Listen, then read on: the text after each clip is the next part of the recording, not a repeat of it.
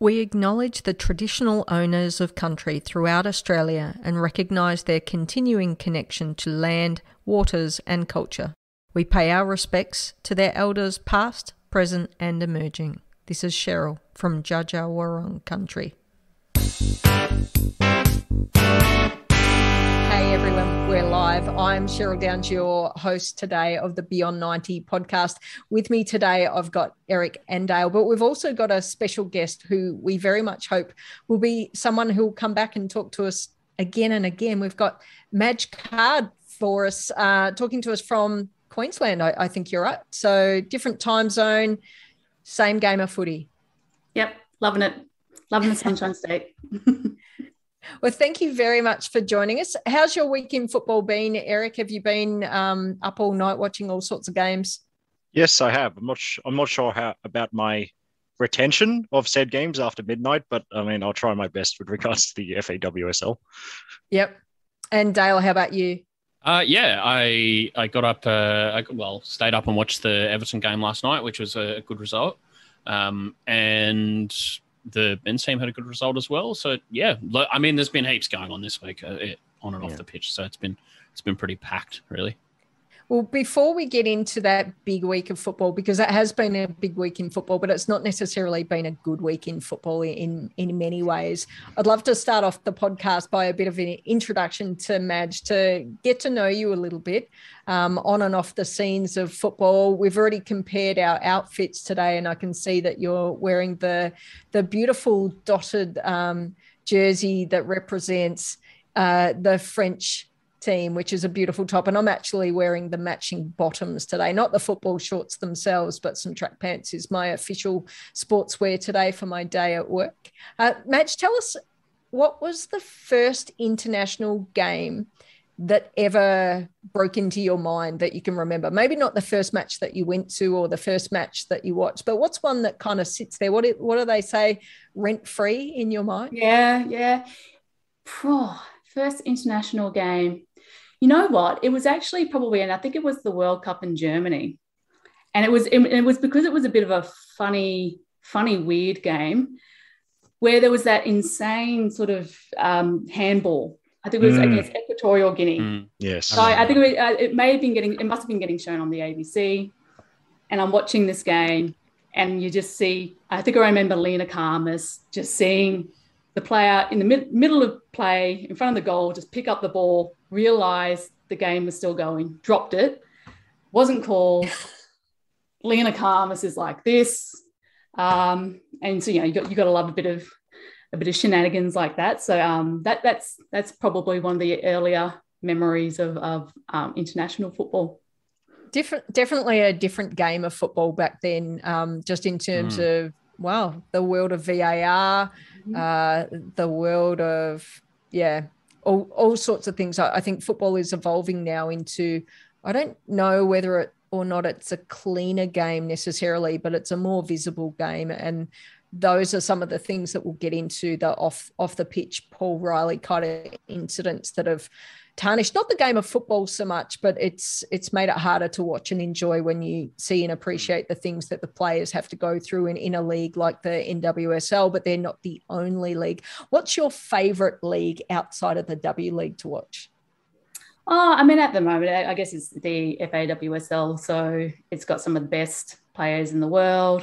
A lot of the Aussies are playing there. So that's always a really good connection. It gives you a reason to sort of go, oh, the Arsenal game's on. Let's see how Steph Catley's going. Uh, and, you know. So and, are the Gunners the team that you favour? I really don't. Fa- I'm such a homer. So I, I can't get attached to teams yeah. that aren't Brisbane pretty much. Um, and I'm like that in all sports. So I kind of just tend to be, I just want to see what, what are going to, what are going to be the really good matchups. And so what looks yep. like is going to be a really good game to watch. So, um, so yeah, yeah, the English league's probably it at the moment. Okay. And tell us about uh, your affiliation with Brisbane and maybe even a bit a bit about Matilda's active support, who mm. I think you may have been spied in there once or twice. Yeah. So um, I was one of the founding members of the Roar Corps up here in Brisbane. So uh, yeah, so we founded that in 2017, sort of um, got together with Mel Andreatta uh, with a, a, workshop with women's football fans, going, what can we do to support the women's team? And, and active support was one of the big things that came out of that, that meeting that we had out at Ballymore at that time. And then out of that grew the Roar Corps. So a core group of people who decided we're going to get together, we're going to make noise at games, we're going to paint banners. The banners is my thing. So that's um always love getting different banners up. I'm going to have to paint a fair few new ones this season. Um, yeah, and then so then that sort of evolved uh, as other groups have popped up around the league as well. Uh, and, and and especially you know leading into France, uh, Matilda's active support, um, the momentum sort of started building about you know generating that sort of active support for the Matildas as well. So I've been involved with that group as well. Yeah. I love a coach. I mean, I love Mel Andreatta to be honest, but I, I, love a coach who brings their own support group. Like, how cool!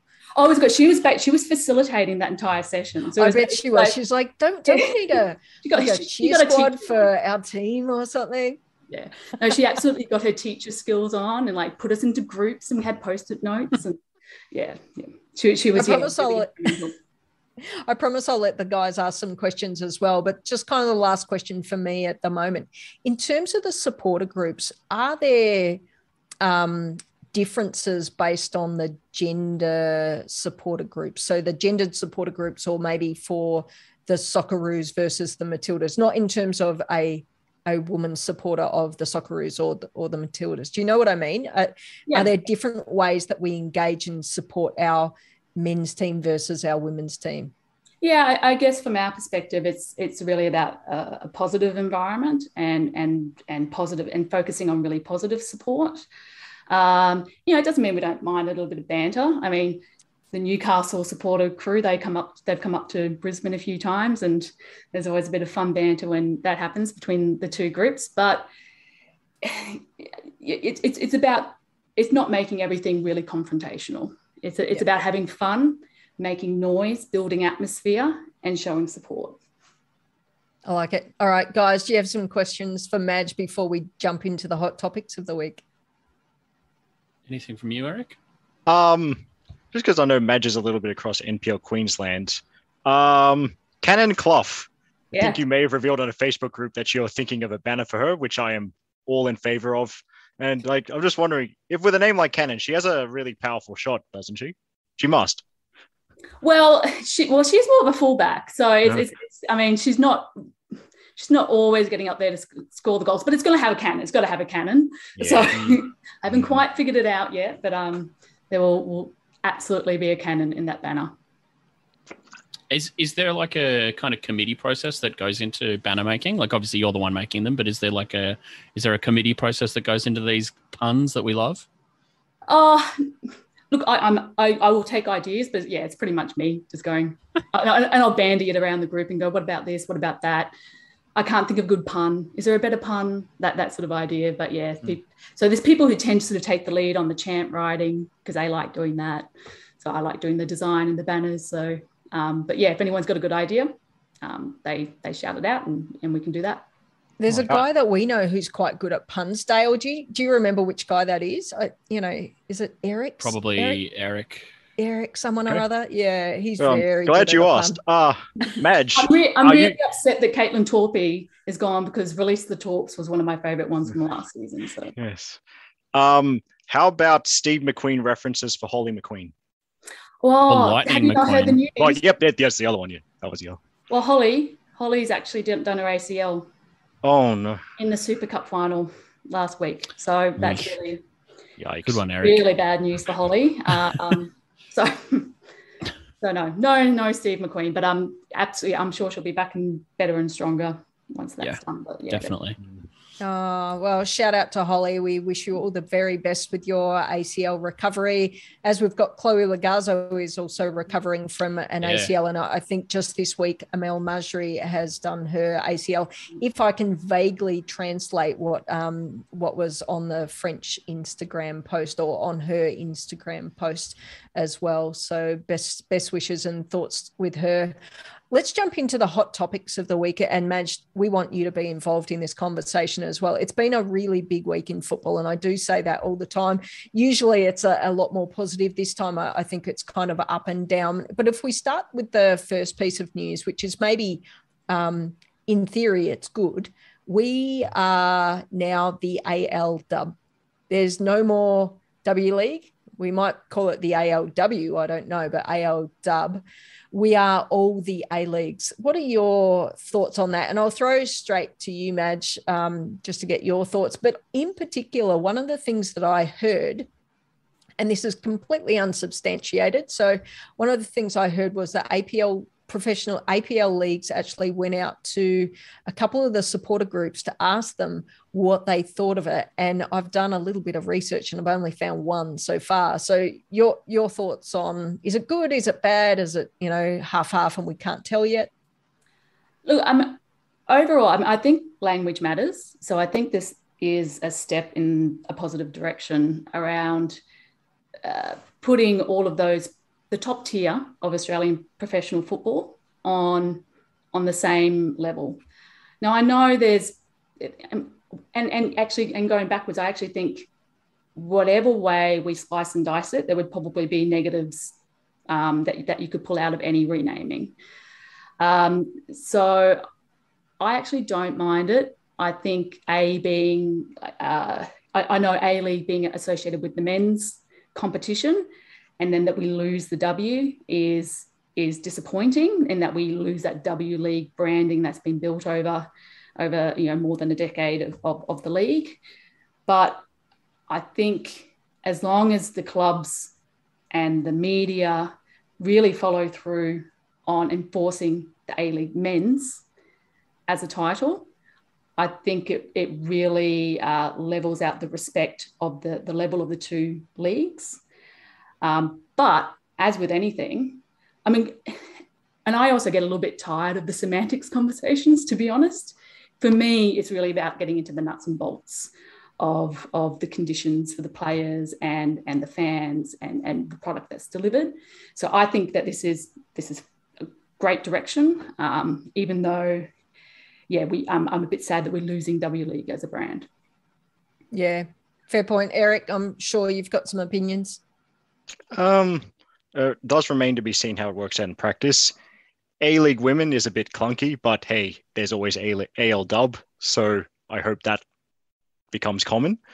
Mm. Um, but yeah, I think Madge is right. It's it's more about the details than about th- things on the surface, such as the name, as important as the name is.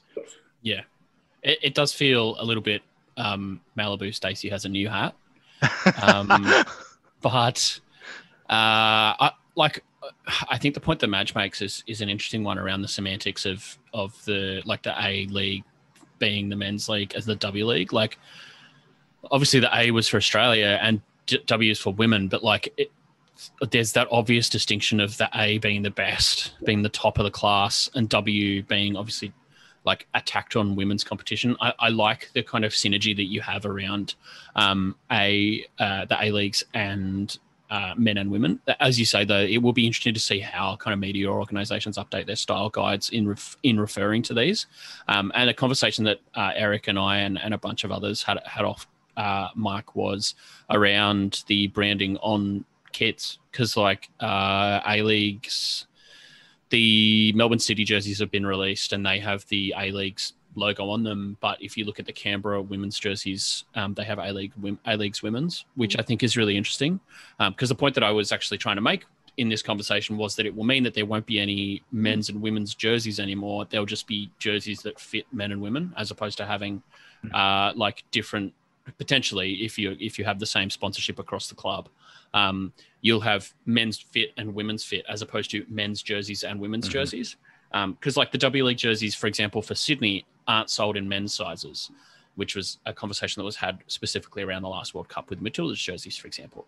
Um, but it will be, as I said, it'll be interesting to see how that kind of plays out in practice with the visual branding on the kits, visual branding around the grounds, um, in terms of, say, for example, your A League dub membership.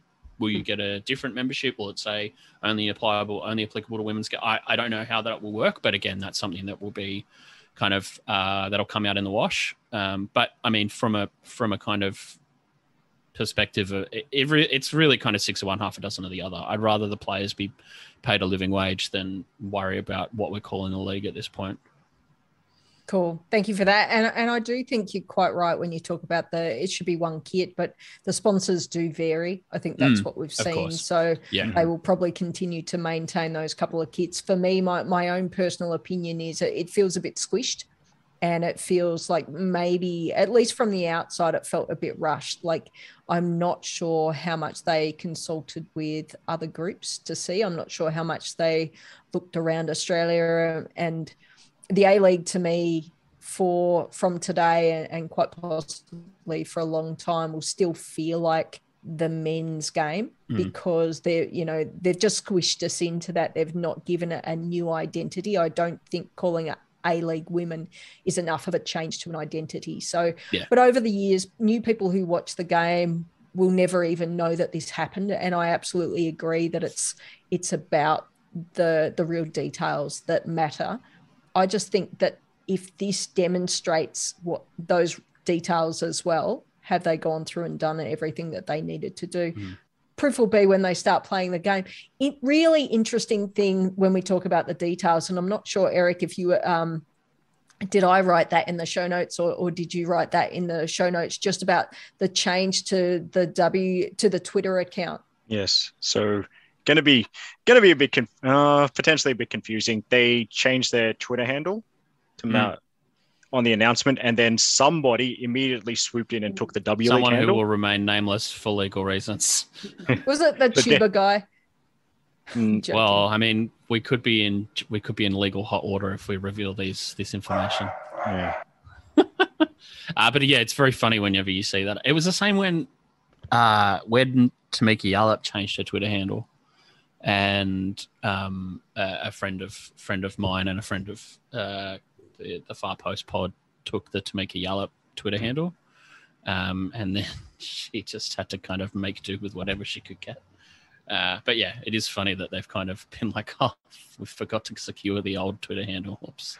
And, and that's a detail, right? That's what I'm talking yeah. about. These these are the details that we need to be thinking about when we're making these mm. decisions. And we have we um have we thought it all through? And I'm not saying anything negative about APL. I'm just saying it remains to be seen for me how successful this will be. But I absolutely yeah. agree that seeing these as, you know, it's just football is really important. So, you know, agreed hats off. Let's see where it takes us. Let's jump on to more news of the week. And this is probably not the good stuff. And, and we, you know, the podcast I like to think talks about the good things in football, but I don't mm. think we can necessarily turn a blind eye to what's been happening in the NWSL. And I say in the NWSL because that's the news that's out at the moment, but it doesn't seem to be, you know, just in the NWSL that we see this kind of stuff. Madge, I'll throw back to you to make sure that you get plenty of time on the podcast to voice your opinions as well. But do you want to give us uh, your overview of what it is that's happened? If anyone's been living under a rock, Madge is going to give you a little bit of an update of what what it's all about and your thoughts on it as well.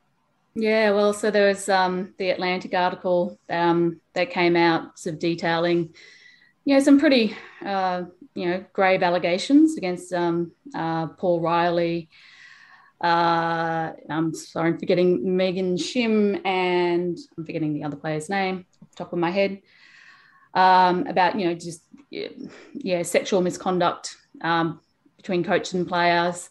Um, yeah, it's it's it's really disappointing, and and it's it's I guess how I reflect on it is, I think it ref- reflecting on sport and sporting culture more broadly, we've got this. Um, I think sometimes sport feels like it, it, it, can operate outside of the norms of, of what, what a normal workplace operates as. Uh, and this sort of winning at all cost mentality or, or the coach, the coaches as king sort of um, mentality that we sometimes see come across in sport can really manifest some really poor behavior. And then I think when you see in semi semi professional uh, leagues, especially, so when you're looking at women's sport that maybe hasn't had the strong governance and structures behind it uh, as it's been growing, uh, you can see this sort of behaviour. It become it can be it just become a hotbed for uh, really toxic and and and abhorrent behaviour. Yep. Yep, agree. And we are very fortunate, I think, on this podcast that we have the male allies that we do in Eric and Dale and Steffen and all the other guys that work together with us behind the scenes as well. Really interested in in your thoughts and opinions as well, Eric and Dale. Um, just I think this has been raised by many people, but just after after everything that has been alleged, and indeed after he Paul Riley was let go at Port Portland, uh, why was he allowed to then go to Western New York Flash, who later, of course, became North Carolina Courage? There was um, a good thread I saw from the Guardian writer Susie Wrack in regards to uh, Lisa Baird, who's, well, this is one of the other things to unpack because two women have been let go, but none of the men, no men as of yet. But she was bringing it, uh, Susie Wrack made the very valid point that um, her she had she has uh, Lisa Baird has more in common with the well-off men running things than the majority of women soccer players, and ba- basically saying, "Well, we can't."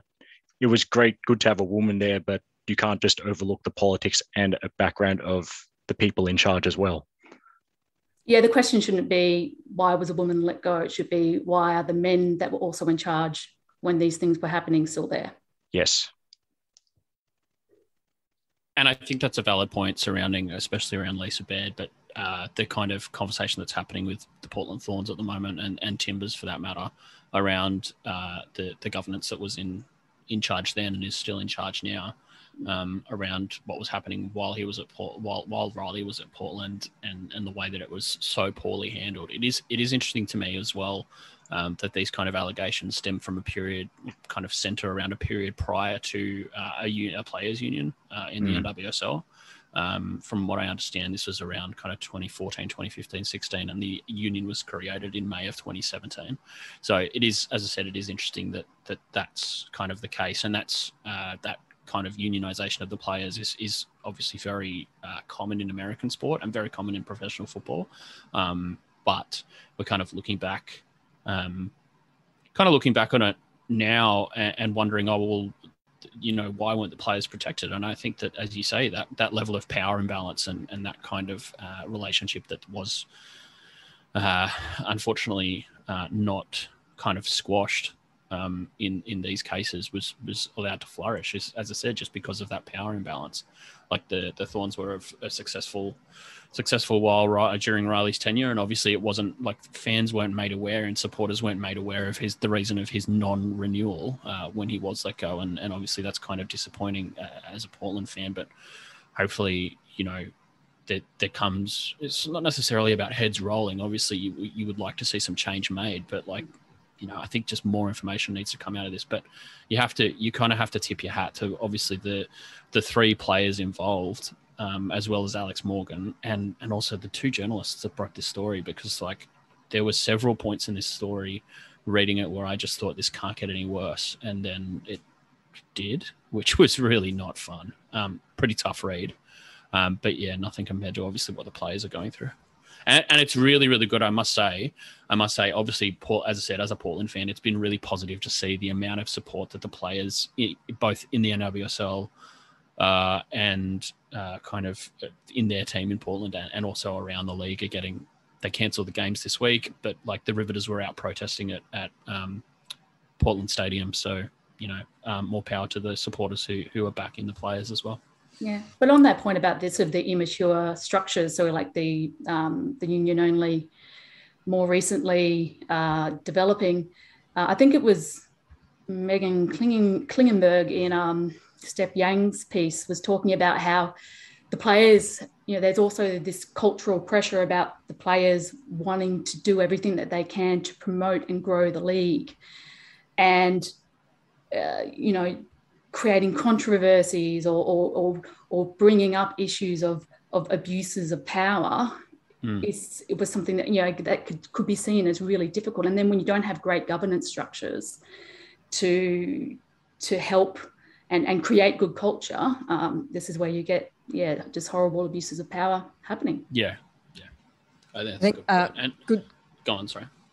I was going to say good points from from all of you and Dale, just where you were talking about the the union, and I was thinking about the Players Association. I, I love to think that in Australia we wouldn't see anything like that, but I am not. I, I tend to be naive. I will say that, but mm. I don't think that I'm that naive that we haven't seen that and we won't see that going forward. But I, I, if there's anything good to come out of this, I wonder if it is that it is a bit of a Me Too moment and it is also demonstrating that the players do have some power and they can they can make it push it out there push that news out there or not news but push that information out there so that people really see what's happening. Look it's not just paul riley as well. It is allegedly sorry. There are also I, I, think were there three other coaches who were let go from their positions with the nwsl in just this season? So you know there's yeah. a lot of money in football. It's a big game. It's it's not just the NWSL, it's it's all over the shop. But I do hope that if there's anything that comes out of that, that it's more visibility and more ears listening to it. Some some of the big news outlets are copping a bit of flack, saying, "Well, the only time you care about women's football is when there's something like this coming out of it." But the good thing about them writing about this sort of stuff is it's getting more visibility. People are reading it and saying, "That's not on. That's not okay." Mm. Like I want them to write about football all the time and to write those positive stories as well. But if they're getting the reach from this then people are going to learn from that and say, "Oh, you know, that's that's a bit dodgy. We, how do we stop it? That's that's the goal. How do we stop it from happening?" And I really like um, some of the things that Eric uh, posts on his Instagram page. Uh, uh, Eric, I don't know if I'm going to paraphrase this very well, but it was how do we stop rape from happening? And there were six mm six tips about how you stop it if and this is essentially if you're kind of like the guy um, one of them is a mm. buddy system. Like take a guy with mm. you. If you feel like you're going to rape someone take a guy with you and get him to help you stop. Like you know the we need to work out well what are the strategies that are going to put these players in a safe space? What are the strategies that are going to stop these people in power doing these things? But anyway it's it's a very uncomfortable topic. It's very hard to see what that players have to go through to be part of that. So yeah, very difficult conversation. Any final thoughts on that before we push on to hopefully nicer things in our discussion piece today? I just want to say I hope the um, APL and Football Australia then are looking at their own policies mm. to see if there's, with regards to this, to protection of players, to see if there's anything that could be improved. Yep, agreed because really as you point. say, I mean, as, all right, as, as uh, let's have a look now. Um, just to signings. So we've got some W League signings. Eric, do you want to take this one away for us as well? Just have to run through the last week as brief as I can in terms of oh, what I can remember. Adelaide have cast a wide net, so Natasha Brough, who was most recently playing in the Netherlands and has spent almost a decade in Spain, I think, judging by her own website. So, but she is Australian, so she'll be coming home.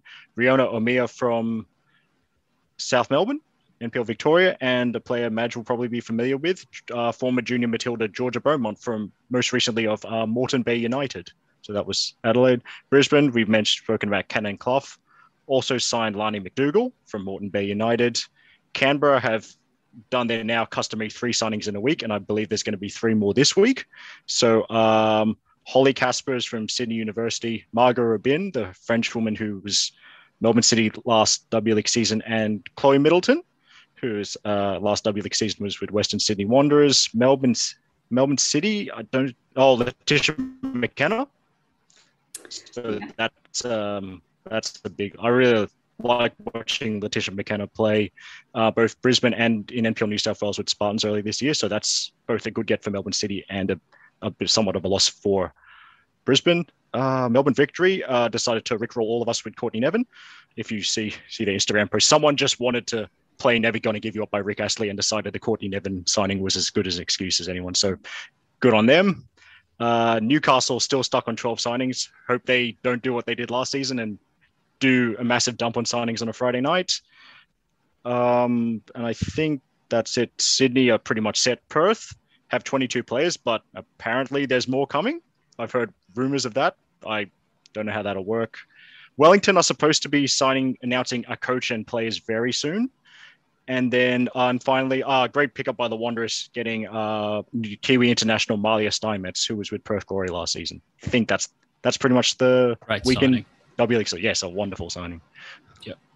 Very good. Thank you for that. Anyone who, um, Madge, anyone who particularly interests you, or if you're um, watching the Brisbane or the Queensland NPLW, are there more players that you expect to be picked up pretty soon? Oh yeah, there's a few more. Um, Brisbane needs some defenders, uh, especially now that we've unfortunately lost Holly McQueen. We've got basically Cannon and and Jamila sort of in there at the moment. So um, yeah, we're with friends. We've been going around. Who who do we think could get um, could get promoted in that in that space? Um, and there's a couple of young players. Like I wouldn't I wouldn't be surprised if an Ellen Gett might get um, a contract um, this season. So we'll see. All right. So cool. she, yeah, she's playing for the QAS at the moment. Very good. Let's start going around the world. It's it's almost um, well, we're more than halfway through the podcast, so we better get cracking. Um, not great news coming out of the WE League for Alex Chidiac in that they lost 3 0 to Bletzer. I'm not sure if I said that correctly, but that, I always preface my international pronunciation by saying, don't know if I said that right. One of the Uh, longest team names in world football. Oh, I want to look this up now. Television, Tokyo Verdy, Bellezza. Wow. Oh, okay. Well, yeah, I just went with Belitza. But anyway, um, so that puts JEF Chiba 11th, I think, on the ladder. And they started off with a draw. I think they've now had a couple of losses. So we'll see how they go.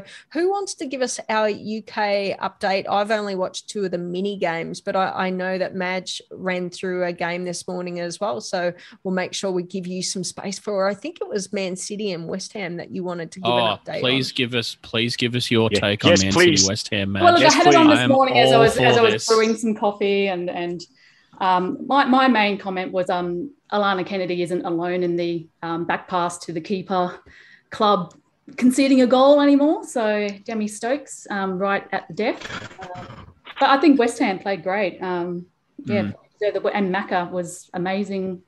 The, uh, pulling off seven saves, I think, and, and the clean sheet. So it was, um, and Tameka had, you know, a couple of good opportunities. Um, one that went straight at the keeper. I think she had a, a good glancing header opportunity as well there. Uh, but Man City, I mean, they definitely had their chances.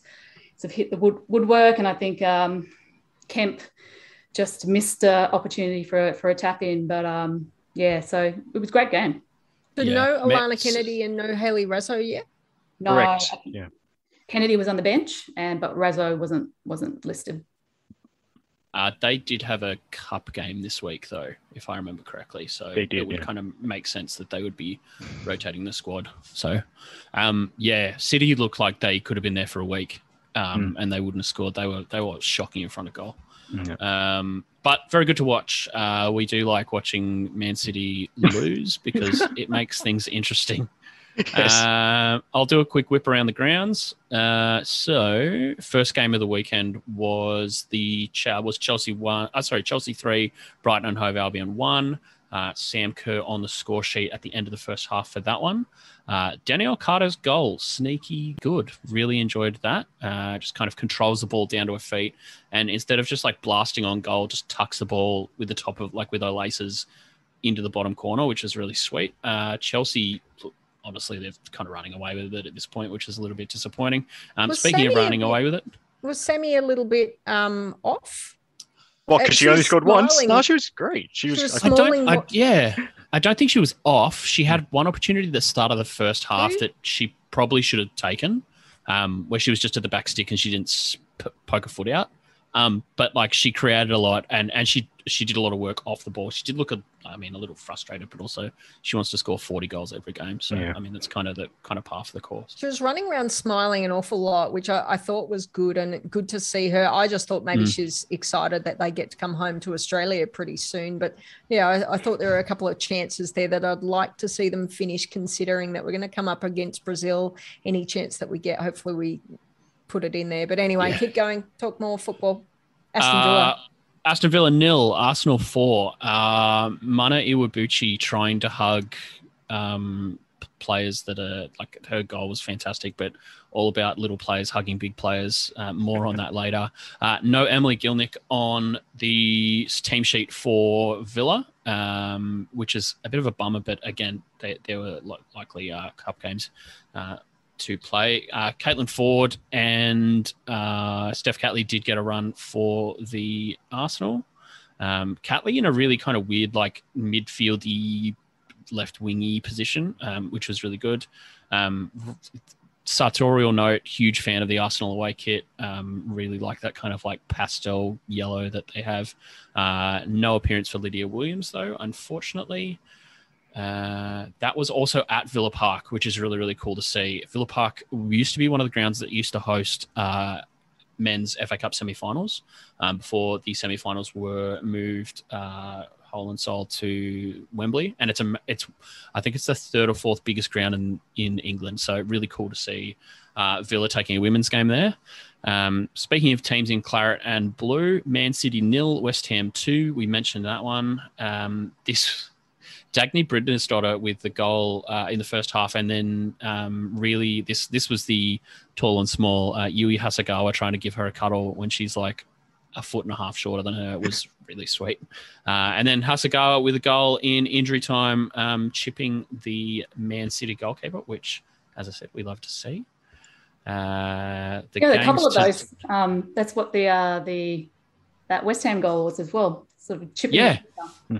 loved. And I mean, like, you're really on a hiding to nothing. Um, we don't want to see like karmas on karmas crime like we did in the dub those years ago. Um, so you know, sometimes if you're a goalkeeper in that situation, you just got to kind of take your L and deal with it. Um, they, you know, doesn't matter if you lose two one 0 or two 0 really. Uh, speaking of 2 0, Leicester nil, Spurs 2. Uh, that was, uh, I'm just bringing that up. I actually haven't watched this game. So uh, goals for Angela Addison and Rachel Williams in that one. Uh, any Australians in that? No, Kyah Simon wasn't on the Spurs team sheet. Ria Percival as well? no? Disappointing. Go away, Optus. Very frustrating. Uh, Everton 3, Reading nil at the Madejski Stadium. No, I will not be using its commercial name, uh, goals to Anna Anvegard. Uh, I think it was Danielle Turner and everybody's favorite Melbourne City player, or former Melbourne City player, uh, Claire Elmsley, or Emslie, in that game, and that was that game. And then there should have been one more game of the round. Birmingham, Manchester United. Yeah, Birmingham, Man, Man United. So Birmingham nil, Man United two. Uh, just bringing that one up for you all now. Goals to Leah Galton and Ella Toone. Shock horror, Ella Toone scoring goals. Uh, Birmingham, yeah, just look not not having a great odd season. Birmingham, unfortunately. Um, I feel like they play at a they do they play at Walsall. Oh no, they're playing at St Andrews this season. Sorry. Hmm. Um, so that's yeah. uh, that's this week in the FAWSL. Uh, Arsenal on top, uh, alongside Tottenham, who have a significantly lower goal difference, mm-hmm. and Chelsea and Man United in third and fourth. Bottom of the table, Reading, Birmingham City, Leicester City, all on zero points after four rounds, and then much to everybody's sadness, Manchester City fourth from the bottom. And that's this week in the FAWSL. Thank you very much for that. We've just got Stefan joining us, but we're going to keep on giving some quick updates from around the world. So, in particular, in the Scottish WPL, where we've got two Aussies playing there, we've got Jacynta Galabadaarachchi playing for Celtic, and, and then for Glasgow City, we've got Aoife Colville. The good news for Aoife Colville is that as much as there were three matches that I don't think I've had a chance to chat about, Aoife scored one match uh, one goal on match day four, which I think was midweek, where Glasgow City won 3 1 against Hamilton. And then just over the weekend, it was a 9 0 victory for Glasgow City over the Spartans, with Aoife Colville scoring a brace. So she's not in my Queen of the Week, but maybe on calling that back, maybe she should be. Uh, managed to get some game time, I think, in the second half. Quickly around Europe in France, we had Ellie Carpenter's Lyon defeated Bordeaux 4 0. And that's where I said that Amel Majri has unfortunately seemed to have ruptured her ACL. So it's not good news for the French international. For Montpellier, they lost 1 2 to Fleury, which is Emma Checker's old team. But Mary Fowler did manage to come off the bench yet again. Super sub goal scored in the 94th minute. In Italy, Ella Mastrantonio's Lazio went down to first placed Sassuolo I don't know if I'm getting these things right. Anya Ella for being out there. And Aivi Luik did make an appearance for Pomigliano. They were defeated by Inter, sorry, they defeated International um, 2 1. Then in the Netherlands, PSV for Amy Harrison, they lost 1 0 to Den Haag, but Amy was not listed on the team sheet. And now it's all yours, Stefan. Hi, everyone. Hi, Majella. Nice to hear your thoughts today. G'day. Nice to meet you. Um, in the Nordic leagues, there, there are three three leagues that are still going, and with the flipping of the rounds in Denmark, where all the three leagues are now on on the uh, on the run home towards completion. Um, just for everyone out there, with the um, with the the Norwegian NM um, semi-finals and the final coming up, uh, we did some investigation on how to watch those games. And also in the Denmark League after after a question. So um, we've done some updates to our Aussies Abroad page. So there's some other details there about how to watch those those leagues, um, which are, which may help some people. Um, but quickly in Norway, there was no um, Toppserien round this week. There was a catch-up game for Nicola Orgel's Klepp um, from from last round, from round 13, and they unfortunately had a one 0 away loss. And Nicola again was was not on the card, so still hasn't recovered from uh, from her injury back in July. Um, but the other big news is that uh, I think I mentioned last week that um, Karly Roestbakken's um, Lillestrøm team had a big seven days coming up, and last week they um, they went down to Vålerenga in the league and uh, in the quest for a top two push. And on the weekend, they played their NM Cup semi final against the Toppserien leaders, Sandviken, and managed to watch that game. Um, they went down 2 0, unfortunately. They conceded two goals, two headed goals in the first half, and they were, they were well taken by Sandviken, who were dominating possession at that time. And similar to last week, LSK came back really strongly in the second half and looked really good, but were unable to translate the pressure into goals. And um, unfortunately for both of those games, they, they've lost a trio of players who they were hoping to come back, including Carly being one of them, but unfortunately, none of them were able to, to make it back for these two games. So they can't be far off, but um, yeah, they've missed out on on a big week for the LSK team in, in Norway. So we'll see what happens next week. So that's uh, that's Norway. So over to Sweden. It was round 18 of 22. Big game between uh, the top two teams, um, uh, Rosengard and uh, BK Häcken. Um, so that ended up in a 2 0 win to, to, the second placed Häcken, which was uh, a surprise. And um, maybe it'll it'll um, give Rosengard a, a, little bit of reevaluation for the uh, for the finals coming up for the for the, for the ride home. Um, but yeah, solid solid win at home to to Häcken. Um, Teagan Micah started and played for Rosengard. Uh, Charlie Grant didn't see any game time, and neither did Dylan Holmes for BK Häcken and that result closes the gap at the top of the ladder to three points. So it's getting a bit spicy with four games to go up, up the top there. Big gap between um, from the, those two back to the other teams though. Um, over in Hammarby, Elise Kellond-Knight's uh, fifth place team. They had a one-all draw um, just just overnight against tenth place. So they probably would have liked to have done better, I think, in that one. And of course, KK is still recovering from her surgery to a knee, so it wasn't on the card for that. Um, Polks, Claire Polkinghorne had a, had a fantastic game, uh, 3 0 win um, at home against uh, a team that was around them on the on the ladder, um, Linköpings. Um, so that's a really good result for them, and that allows them to jump over Linköpings into sixth spot. And Polks played the full 90 minutes, so going, going well there. And finally, um, over at um, Växjö, where Winona Heatley is playing, um, and they're the bottom side, bottom um, team on the ladder, but had showed some signs lately of um, putting in some good results and, and pressing some of the more fancy teams. they played the team that was one above them on the ladder. So I would have been hoping on the back of some of that better form to do well, but they ended up with a 1 0 away loss. So, and Winnie, uh, sorry, Winnie was on the card, but didn't see, see any game time for that game. And finally, over in Denmark, um, so with the flipping of the rounds last week, we saw Fortuna have a two-all draw with um, HB Køge, and this week uh, they got to play them again. Um, it's quite a different game for Fortuna. They um, they had settled into quite a, um, a regular looking formation, uh, which included usually Angie Beard playing at left back and Claire Wheeler starting as well in the midfield, centre of midfield. But this week, Angie Beard played wide as an attacking left midfielder. Um, so a different position for her. Um, Claire Wheeler was on the bench, so I'm not sure if she's got a niggle or something, but um, she didn't get on the on the field this week.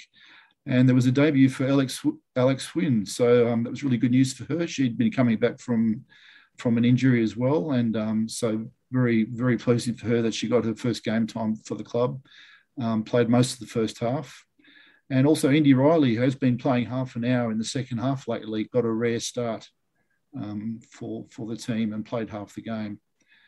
Um, so that was a 4 0 away loss. So I'm not sure they'll be sticking with those changes.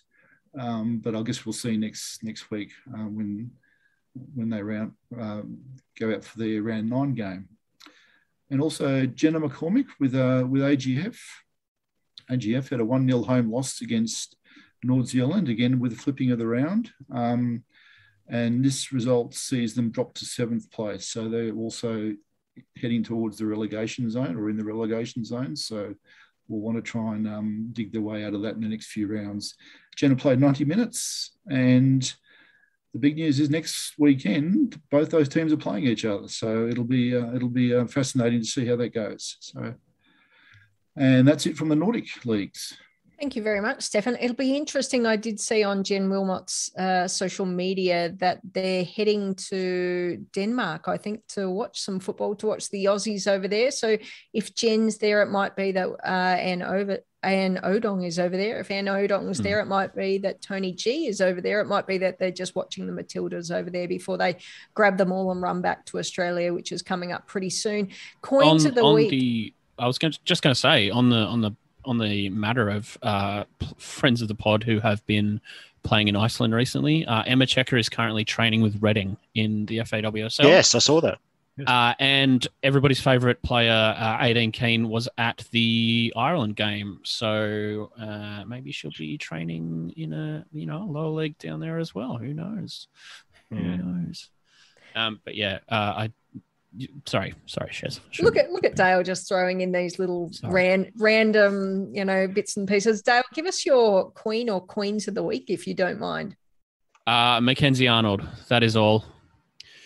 Uh, seven saves, clean sheet. Um, I mean, you know, there's a saying in football that you can only beat what's put in front of you. Um, and I know that Man City are a weaker team, but you know, we should really be congratulating Mackenzie Arnold on such a great performance.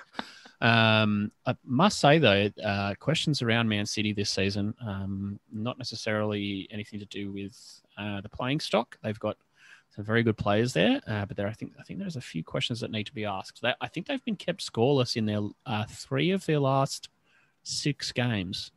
Uh, they beat up on Everton and beat up on Leicester, um, and they got kept scoreless by Real Madrid and Arsenal. So yeah, three three donkeys uh, three duck eggs for uh, or donkey's eggs that's quite a visual image um, for man city recently uh, but yeah Macca queen of the week for me for sure yep yep uh, Stefan, uh, Madge, I'm deliberately giving you some more time to think about the three to five that you're picking out. Uh, you might be picking a whole squad of 11, I'm not sure. But Stefan, your queen or queens of the week. Yeah, before I go into mine, there was a couple of big uh, signing uh, announcements by Canberra Olympic this week. So uh, eyes are on Canberra Olympic for, for what they're doing in 2022. They signed Cecilia Matic from Canberra, Croatia, and also very talented uh, midfielder from Gungahlin, Ilka Itolo. So, uh, yeah, really uh, working towards something pretty cool over there. But Queens of the Week. Um, I had the pleasure this morning of chatting with the, the co-founders of the South Canberra Bees. Um, Kat, you wow, you must have been buzzing, Stefan. I was. Thanks, Eric. There's a pun for you right there, Madge. um, so yes, it was a really really good chat, and um, in the course of that conversation, and there'll be there'll be an article about uh, a season one ret- retrospective for for the club coming up in the next week or so. Um, but in the course of that discussion, they mentioned that um, they'd been to the workshops that um, Sally Jean Davis or Shippard, Sally Shippard, uh, runs introducing woodworking skills to women, children, and LGBTQ communities. So a bunch of um, South Canberra bees participated in workshops, in those workshops, and they've handcrafted all their trophies for the club. That's so cool. All, all uh, about ten of them. So that I don't know about you, you, but that gives me all sorts of uh, warm and fuzzy, nice feelings. So um, warm and buzzy. What, yes, thank you. warm and. So uh, Queen's the week, uh, Sally Jean Davis and the South Canberra Bees. I, I much, must say, as the as the son of a uh, a woman tradesperson or a tradeswoman, that is very cool. Yeah. Yep. Very good. Thanks very much for that, Stefan. And I very much like um, that Sally Jean Shippard got that. That's that's great news. And co-founder and friend of the pod, Sarah Groove, has actually been on one of Sally Shippard's um, courses to go off and make stuff. And mm. interesting little tidbit as well. Maybe I shouldn't be throwing this sort of stuff out there, but Sally was actually the celebrant for Sarah and Angie's wedding mm. as well. I was going to so say, yeah, she's she's a woman with many uh, strings to her bow. Uh, yeah, there's a very, so. very nice tight connection there. So uh, on to you, Eric, your Queens of the Week. Okay, I've got two. Firstly, um, Mana Iwabuchi from Arsenal, who has had a great week. So two weekends ago, she made a defender fall over in the build-up to their fifth goal against Man City. I'm protecting that defender's identity. I know exactly who it is. I'm not going to say their name. Then there was an absolutely outrageous nutmeg and goal against Tottenham in the FA Cup. I'm also going to protect that Tottenham defender's identity. Mana basically retired the whole of the Tottenham Hotspur Football Club with this goal. And then she scored last weekend against Aston Villa. And then uh, I have a second Queen of the Week, this close to all of our hearts. Uh, for, former social media manager and uh, woman who wrote many outstanding articles for us, Samantha Lewis. She finally has a full time gig. She's got a permanent role with ABC Sport as part of their digital team. So ending, you know, the kind of uncertainty that comes with all the freelancing yeah. gigs that she's done, writing, you know, and you know, who hasn't she written for? Guardian, ESPN, Optus Sport. So it's I can't wait to see what the team creates. I think the phrase "standing on the shoulders of giants" um, applies, given that I succeeded her. You know, partly partly because she was so good at what she did for us, mostly because she's a lot taller than me. Yeah, I was so, going to yeah. say she's she's the same height as me. Yeah. All right, Madge, the floor is yours. Tell us your Queens of the Week. Well, I think I'm going to keep with the the artistic um, theme that Stefan uh, touched on uh, with Canberra. Uh, I'm going to go with um, Sarah Scully and Kim Walmsley, who've done a wonderful mural at the QAS uh, headquarters at Meakin Park. That's just been uh, presented or, or you know, unveiled this week uh, in commemoration of the 100 years since the first public yeah. women's football game. It's it's fantastic. It, it, you know it pays tribute to uh, you know the the trailblazers of, of women's football uh, from you know from the you know the first those first two the the North North Brisbane Reds and the South Brisbane Blues uh, through to you know our, our young mini Roos players now. So it's fantastic. So jump on the Football Australia article and check it out. It's great. And I think they've got a wallpaper out that you can oh, download nice. yes. phone. Yeah, desktop and mobile. They've yeah. thought of everything. Aren't we the geeks? Any more from you, Madge, or are you just going with that one? Oh, look, my other look, I, I, I, do want to give a shout out to the um the QAS uh, kids last night. They um so the bottom of the ladder of the NPLW, uh, I think with they had seven wins going in, and it's, it's, the second last round of the of the season, taking on second placed um, Capalaba, and they came away with a three one win. So nice. it's always great to see see an upset. Capalaba, you know, they had some players missing. I think um, Holly Palmer and. Uh, have a look at that bit and just say they got. Oh, but you, there was a fantastic team goal, a little back heel, a through pass, a fabulous cross, and then Ellen Gett just rising and heading it into the goal is fantastic. All right. Well, I, I like this um, this way that we're working and doing multiple Queens of the Week. So I'm jumping on board with that. Mine are um, not quite the celebratory kind of Queens of the Week that you would think of necessarily, but Meg Linehan for being part of the athletic crew who broke the mm. story of the. Um, I don't know if we just call it the Paul Riley thing or, or whatever, but also to Sinead Farrelly and Mana Shim, who were two of the key players who spoke out against the abuse that they had been subject to as well. So they are my queens of the week. I, I almost think that maybe there should be a Joker of the week on, on, the guy that was involved in that, but I don't think a Joker is quite. Uh, necessarily appropriate enough but thank you very much to the athletic for for your diligence and your hard work to put that story together it's not easy to put a story like that together because you have to double check your facts and figures and make sure that mm. you're telling the right story and, and not just listening to the first person that you hear. So it must have taken yeah. them quite a while. So shout out to them. Um, I think that's pretty much the end of the pod, but I wanted to just talk about next week a little bit because I think we've got uh, the Women's Champions League will be back on, and I wanted to see a show of hands of who's getting up at uh, 2 a.m. or whatever time the games are to go and watch them. Dale's emphatically saying yes from I I start a new role tomorrow, so I will be pushing out Zeds at a great rate. but I will definitely be catching up on them. Well, I'm looking forward are... to watching Kharkiv and Real Madrid take each other on from several thousand kilometers away. All right. Well, for those people who aren't going to stay up late at night to watch the matches, we'll make sure that we give you a, an overview of them on the next podcast on Monday night when we go live on Facebook. But also, you can listen to us at any time you want just by listening to the podcast as well. I'd like to thank very much Madge for joining us on the podcast and to have a gas bag with us because we love talking football and we've loved talking football with you on the call as well. Thank you to Eric, Dale, and Stefan as well for your contributions to the pod. Shout out to Raleigh, who hopefully is listening to the pod and just uh, practicing some self care and looking after herself and Matt. And that's it from the gang. Thank you all. Thanks. Cheers. Bye. Yep you